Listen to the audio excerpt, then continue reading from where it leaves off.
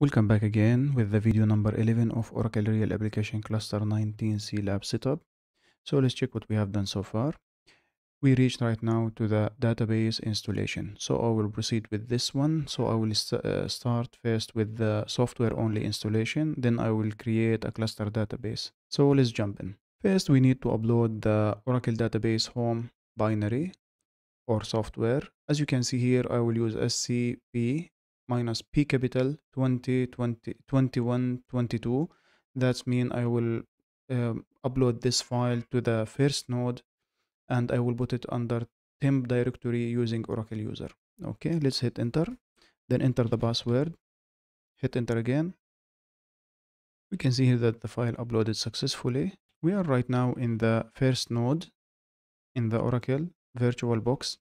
So this command will unzip the file which is located in the temp uh, directory and uh, the destination will be Oracle home. So I will hit enter. Unzip operation finished successfully right now. We can see here that the version is 1.17. So we will upgrade this one to be 1.13.30 so let's move first the old uh, this directory the old directory. But at the first i need to go dollar oracle underscore home and then i need to apply this command. So then i need to unzip the OPatch which is located already i uploaded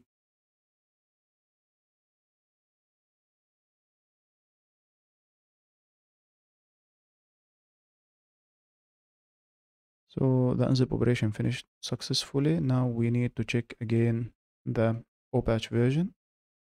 We can see right now it's upgrade to the 13. Yeah, we can see here to the 30 as a version and OPatch succeeded. Okay, now this one will be copied during our uh, installation for the grid, uh, sorry, for the cluster database and uh, the other node will have the same version as well. Now I need to export this CV assume dist ID OEL 7.9.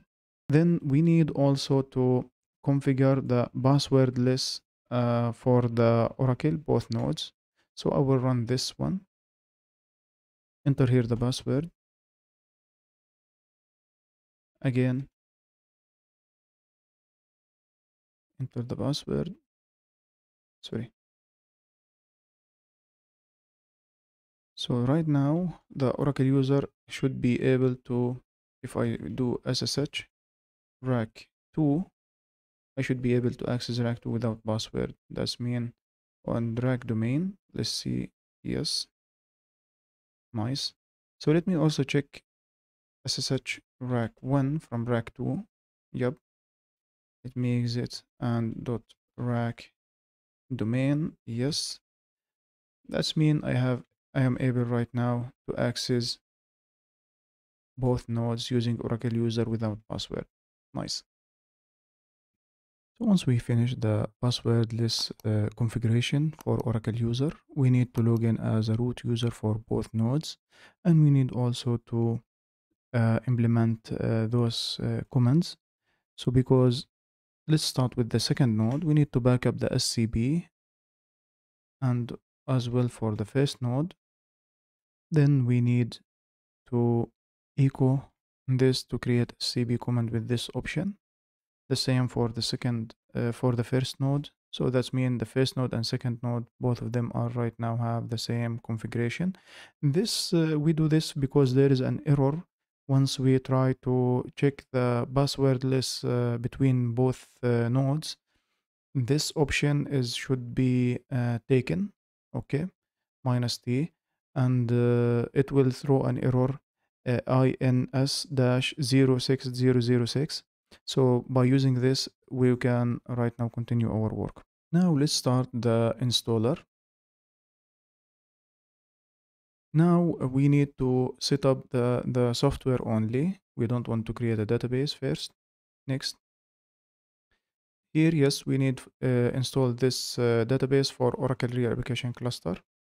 Here it lists for us two nodes, rac 1 and rac 2. The SSH connectivity, we already configure it, the passwordless uh, accounts for both nodes.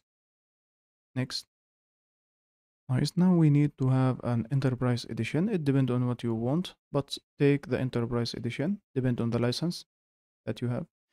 We can see here that this is the correct. We have aura underscore base and we have also the aura underscore base db underscore home. The path is correct. Here, this file, this location, you should uh, unzip the file for this location if you want to take it. If you are unzip the file to the temp or any location, this location will be taken as a home. The temp will be taken as a home. So it's better to unzip the file to the location that you want to be as a home for your Oracle database. Next. We can see here that all the uh, Oracle groups right now is uh, correct and fit to the location that they are should be assigned to. So let's proceed with the next. I don't like to run automatically the scripts uh, using root privilege or sudo. I I like to run them by by them by uh, by myself. We can see here that we have clock synchronization and those error. We try to ignore them for now. And we can proceed. Yes. Now we want to, this is the summary. So now we want to install the software by click install.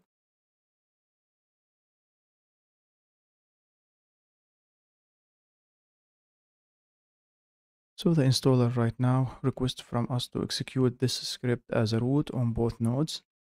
You can read here the instructions, but I will proceed right now. I will copy this I have here two terminals. The first one here is connect to the rac 1. The second one is connect to the rac 2. Let me just first start with the first node. I will hit enter. That's it. The second node. Hit enter.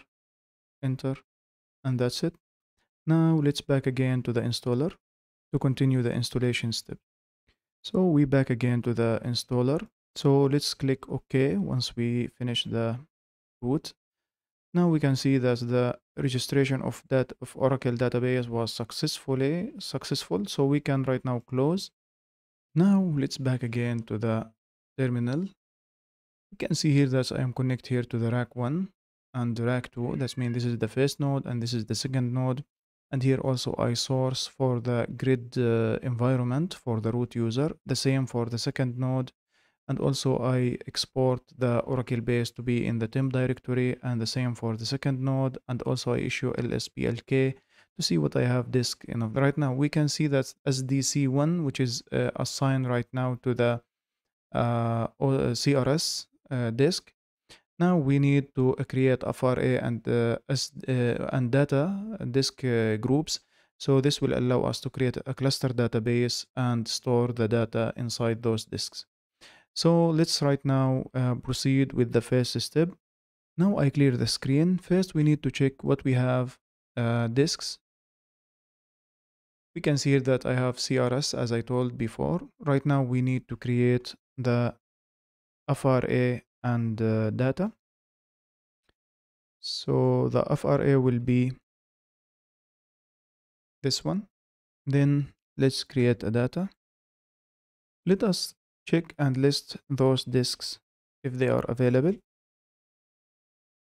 We can see the additional disks are right now enabled and assigned exactly like what we want. So here in the second node, let me just list the disks. They should be also available. We can see that those disks which we create in the first node, they are right now available on the second node. Now using grid user, we need to run asmca to create the data disk group and FRA disk group for the Oracle database. The ASM configuration assistance window will uh, raise up and we can see here that in the left side of this window there is a couple sub sublist list and sublist so we need to go to the disk groups because we need to create a disk group. We can see that we have here CRS1 already listed here. So we can we need right now to create. So we will click on the create. then we see that I want to create a data first. Then uh, I, I need it to be external and uh, everything is fine. I will give it data. I name it data. Then we press OK here we can see here that the data is created with the size of 20 GB and we can see here it's mounted on both nodes. That means the ASM able to access this disk group from both nodes. Now let's create FRA create again from this one here.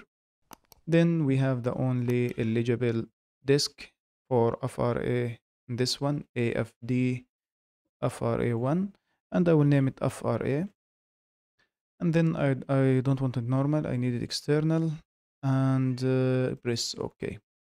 Nice. We can see that the two additional disks are added right now data and FRA FRA is 15 uh, 15 GB we can see also it's mounted on both nodes. Everything is fine and healthy. Let's close this one. Let's check right now in the CRS CTL stat res minus t can see here that we have let's check yeah we have here CRS and data and FRA disk group that's mean all of them are online we can see here online in both nodes and everything is fine I back again to the Oracle user. Now we need to create the database using uh, database configuration assistance. So let's run this command and wait. Database configuration assistance window right now it's up and we can see that we can create right now a database. So I will click, here, select this one, this option, create database, next. Now we can select advanced configuration and click next. We can see here that the data type is Oracle Real Application Cluster RAC database.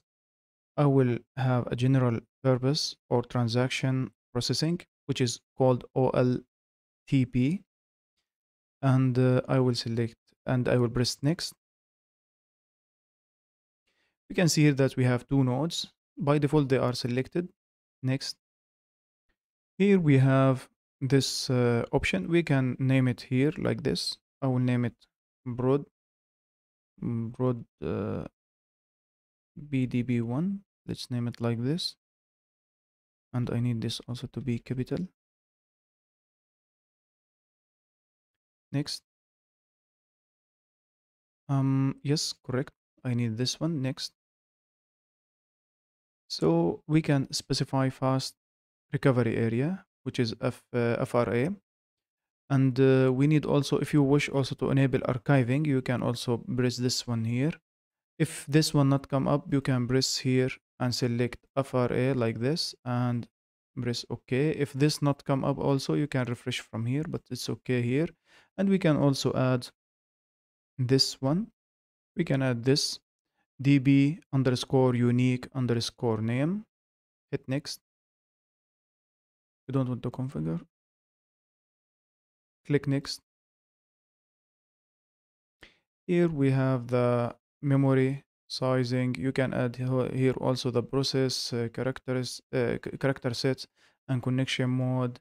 Sample if you want to have some uh, query and these things. But for me I will keep everything as default as default and I press next. So here we need to specify the management option. It's good to have this option which is uh, configure enterprise manager EM database uh, express. This will allow you to manage your database and uh, the cluster environment and also monitor it. But for me, I will uncheck this one and I will proceed with next. Here we have the password. I think we can put all of them as the same as password. And also I will assign the password.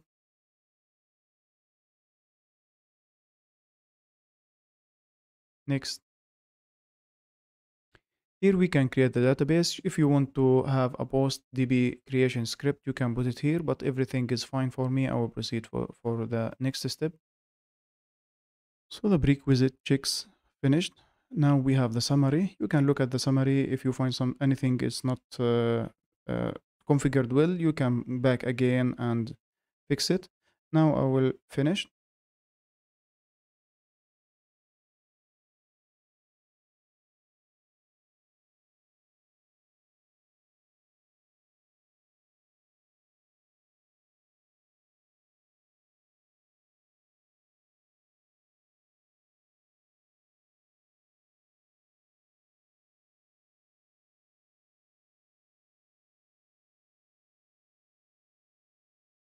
So the database configuration assistance finished. Now we have cluster database created, which is called broad and the SID is broad. And also it's a pluggable, which means it's a multi-tenant database. Let me just close here. We come to the end of the video. Thank you for watching. See you next video. Have a good day. Bye.